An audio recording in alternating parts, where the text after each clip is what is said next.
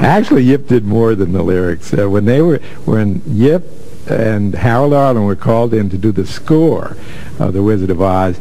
It was uh, Yip who had this executive experience in his electrical appliance business and also had become a show doctor. So he he was, uh, that is when a show wasn't working, you would call somebody in and try to fix it up. He had an overview of shows and he had an executive talent.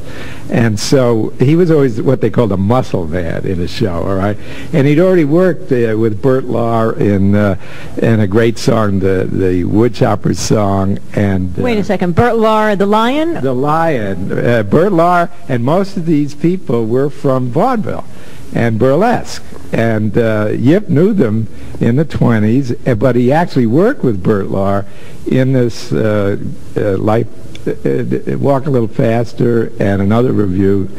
Um, I forget that name, but uh, he and Yip and Arlen gave Bert uh, songs to sing, which allowed him to satirize the uh, opera world, if you want, or the send-off of, of, Rich, you know.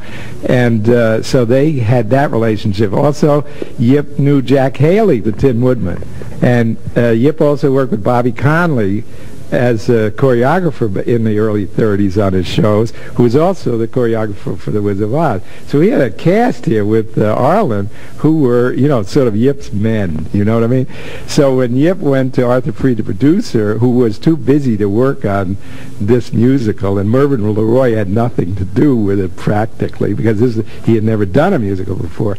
So it became a vacuum in which the lyricist uh, entered because he was already to do so. Yip was always an active, you know, organizer. And so the first thing he suggested was that they integrate the music with the story, which at that time in Hollywood they usually didn't do. They'd stop the story and he'd sing a song, they'd stop the story and sing a song. To, that you integrate this. Arthur Freed accepted the idea immediately. Yip then wrote, Yip and Harold then wrote uh, the songs for the uh, 45 minutes within a 110 minute film of the Munchkin sequence and, and into the Emerald City and on their way to the um, Wicked Witch when all the songs stopped because they wouldn't let him do anymore. Okay, uh, you'll notice then the chase begins. You see, in the movie. Why wouldn't they let him do anymore? Because they didn't understand what he was doing, and they wanted a chase in there.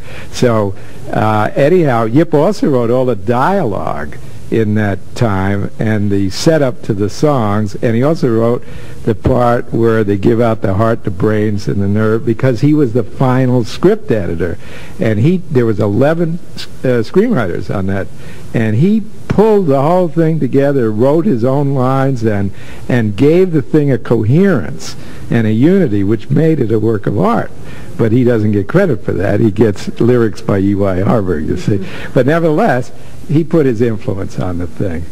And who wrote The Wizard of Oz originally, the story? Yeah, Frank L. Baum was a, a, interesting kind of maverick guy who, at one point in his life, was an editor of a paper in South Dakota, and this is at the time of the populist uh, revolutions or uh, revolts or whatever you want to call it in the in the Midwest, because the railroads and the and the Eastern City banks absolutely dominated the life of the farmers, and they couldn't get away from the debts that were accumulated from these.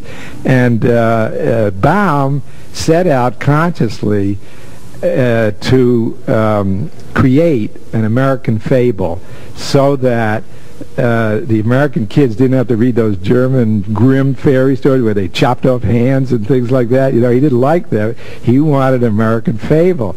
But it had this underlay of uh, political symbolism to it that, that the uh, farmer, the scarecrow, was the farmer. Uh, he, he, thought he was dumb, but he really wasn't. He had a brain.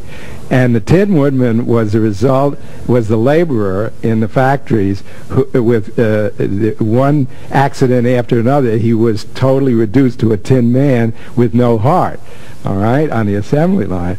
And uh, the cowardly lion was uh, William Jennings Bryan, who kept trying, was a big politician at that time, promising uh, to make the world over with uh, uh, the gold standard, you know. And and uh, the Wicked Witch was uh, probably the railroads, but I'm not sure. All right.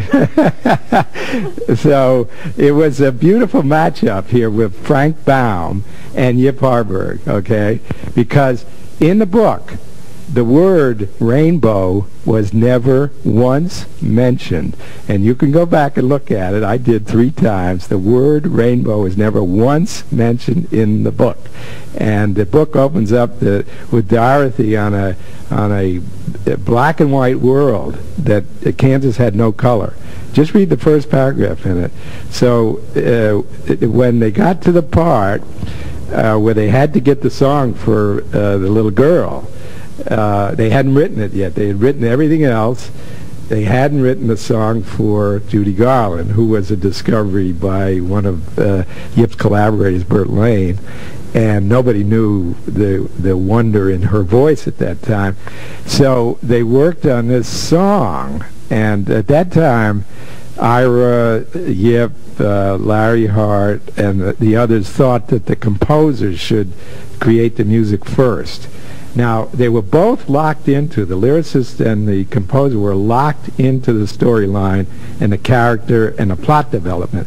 So uh, you, um, they both knew that at this point there was a little girl in trouble on the Kansas City uh, environment, all right, and that she yearned to get out of trouble, all right. So Yip gave uh, Harold what they call a dummy title. It's not the final title, but it's something that more or less uh, zeroes in on what the situation is all about and what uh, this little girl is going to take a journey, all right? So Yip gave a title, I Want to Get on the Other Side of the Rainbow. Now here's what happened, and I want you to play this symphonically.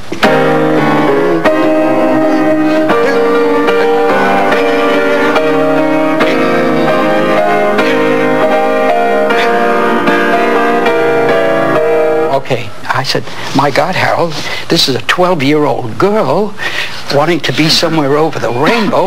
It isn't Nelson Eddy. and I got frightened. And I said, I don't, I, it's a, let's save it, let's save it for something else, but don't, well, let's not have it then. Well, he felt, his, his, he was crestfallen as he should be. And I said, let's try again. Well, he tried for another week, tried all kinds of things, but he kept coming back to it, as he should have. And he came back. And I was worried about it, and I called Ira Gershwin over, my friend. Ira said to him, he said, can you play it a little more in a pop style? And I played hmm, with rhythm.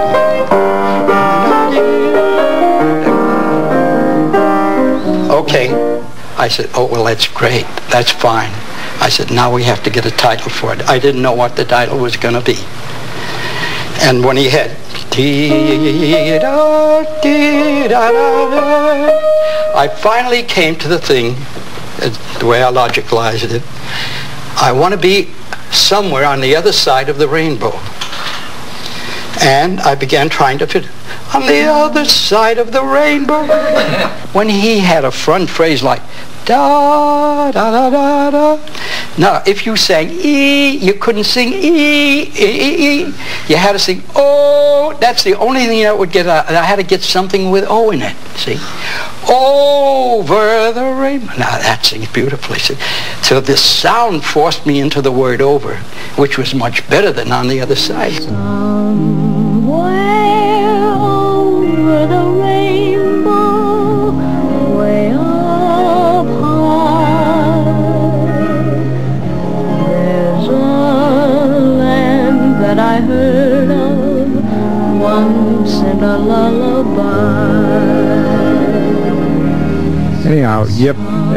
Uh, Arlen worked on. He came up with this uh, incredible music.